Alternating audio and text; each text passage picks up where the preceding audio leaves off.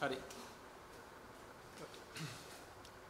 මම ආචාර්ය අතුරුසිරි සමරකෝන් අ, ප්‍රධාන ලේකම් විශ්වවිද්‍යාල ආචාර්යවරුන්ගේ සමිති සම්මේලනයේ පළමුවෙන්ම ඊයේ දවසේ අන්තර් විශ්වවිද්‍යාල ශිෂ්‍ය බල මණ්ඩලය සංවිධානය කරපු ඒ සාමකාමී ප්‍රජාතන්ත්‍රවාදී උද්ඝෝෂණයට එල්ල වුණු ඒ දරුණු පොලිස් මැර ප්‍රහාරය අපි විශ්වවිද්‍යාල ආචාර්ය සමිති සම්මේලන විදිහට දැඩි ලෙස හෙලා දකිනවා. සහ ඒ විදිහට ශාරීරිකව හිංසනයට ලක් කිරීම මූලික මානව අයිතිවාසිකම් උල්ලංඝනය කිරීම ඒ වගේම අදහස් ප්‍රකාශ කිරීමට රැස්වීමට ඇති ඒ ව්‍යවස්ථාමය අයිතිය උල්ලංඝනය කිරීමක්. ඒ නිසා අපි වහම ඉල්ලනවා මේ පොලිස්පතිවරයාගේ නියෝග මත මේ එල්ල කරපු ප්‍රහාරය පිළිබඳව දැඩි පරීක්ෂණයක් පැවැත්විය යුතුයි.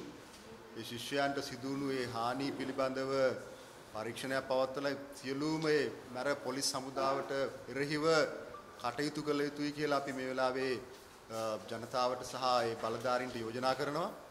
ඒතර මේ විදිහට දිගින් දිගටම ප්‍රජාතන්ත්‍රවාදී අවකාශය උල්ලංඝනය කරන එක අපි දැක්කා.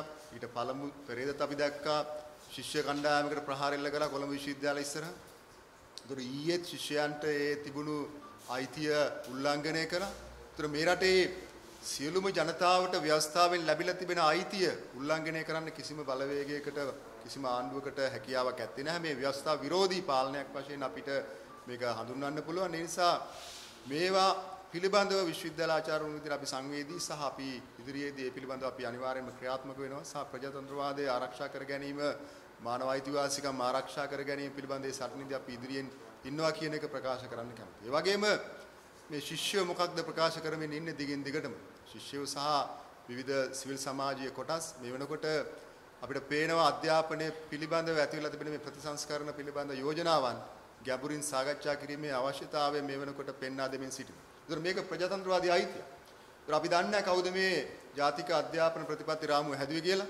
එහෙම රාමුවක් කියලා අපිට දැන් ගෙනලා තිබෙන සමාජ ඉදිරියට. ඒතර මේ විවිධ පුජ්‍යලයන්ට අවශ්‍ය ආකාරයට විවිධ රාමු හදන්න බෑ. ඒ රාමු හැදිය යුත්තේ විශ්වවිද්‍යාල ප්‍රජාව සහ සමස්ත අධ්‍යාපන පද්ධතිය නියෝජනය වෙන ආකාරයට ඒ වගේම ජනතාවගේ අවශ්‍යතාවයන්ට අනුරූප වන ආකාරයට ඒතකොට එවැනි ආකාරයට ප්‍රතිපත්ති සම්පාදනය කිරීම තමයි ප්‍රජාතන්ත්‍රවාදය කියලා කියන්නේ. ඒතර ප්‍රජාතන්ත්‍ර විරෝධී ආකාරයට ප්‍රතිපත්ති සම්පාදනය පිළිබඳව අපි විරුද්ධයි. අපි ඒ පිළිබඳව අපි විශ්වවිද්‍යාල ආචාර්ය සමිති සම්මේලන විදිහට ජනාධිපතිවරයාට දන්වා තිබෙනවා.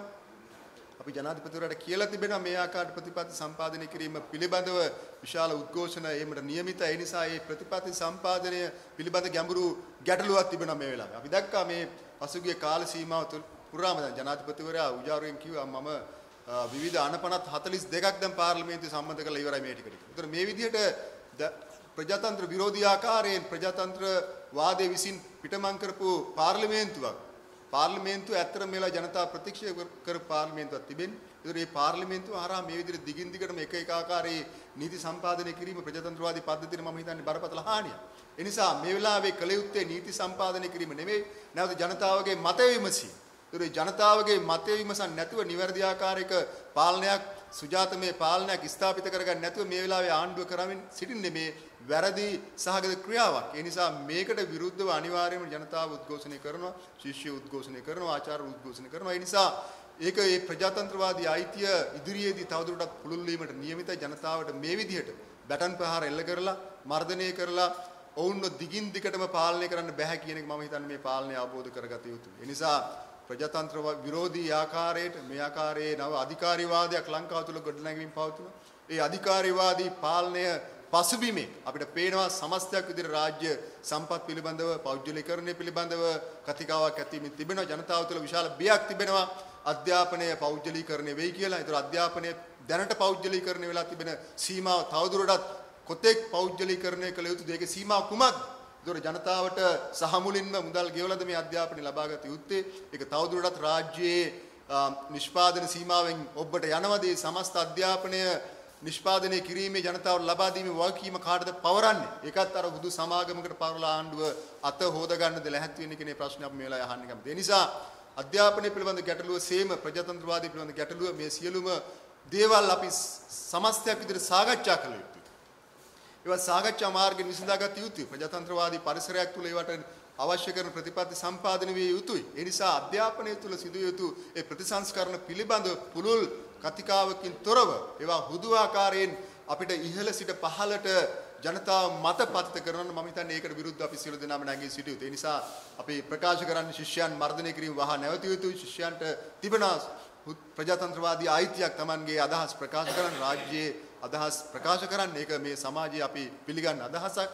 ඒ සුජාතමය අයිතීන් උල්ලංඝනය කරමින් ගෙන යන පාලනයට විරුද්ධව දැඩි ලෙස ජනතාව නැගී සිටිය යුතුයි සහ අපි සියලු දෙනා මේ වෙනුවෙන් විරුද්ධව සටන් කළ යුතුයි කියන යෝජනාව මේ හමුවේ ඔබ හමුවේ තබනවා සහ දිගින් දිගටම ජනතාව මර්ධනය කරන ආණ්ඩුවක සුජාතභාවය අපිට දැක් ගන්න හම්බෙන්නේ නැහැ. ඒ සුජාත නොවන ආණ්ඩුව එළවීමේ ඒ ජනතා අයිතිය උන්ට ලබා දිය යුතුයි මැතිවරණ අයිතිය උන්ට ලබා දිය යුතුයි ආණ්ඩුව මේ වෙලාවේ කළ යුත්තේ රාජ්‍ය සතු මේ අවසාන ජනතාවට යම් ආකාරයක සහනයක් ලැබෙන ඒ අධ්‍යාපනයේ සෞඛ්‍ය වැනි සුබ සාධන සේවා කප්පාදු කිරීම නෙමෙයි මේවා තවදුරටත් පුළුල් කිරීමේ අවශ්‍යතාවය මේ වෙලාවේ මතුවලා තිබෙන්නේ. මේ ඇති වෙලා තිබෙන දැවැන්ත ආර්ථික අර්බුදයේ හමුවේ මිනිස්සුන්ට කන්න බොන්න නැතුව මිනිස්සු අද සමස්තයක් විදියට ජීවත් වීමේ අරගලයක නිරත වෙලා ඉන්නකොට කල යුත්තේ මේ සමස්ත සුබ සාධන පද්ධතිය හැකිලිම නෙමෙයි. ඒක හැකිතරම් ආකාරයෙන් ජනතාවාදී ආකාරයකින් පුළුල් කිරීමේ වැඩි අවශ්‍යතාවය තිබෙනවා.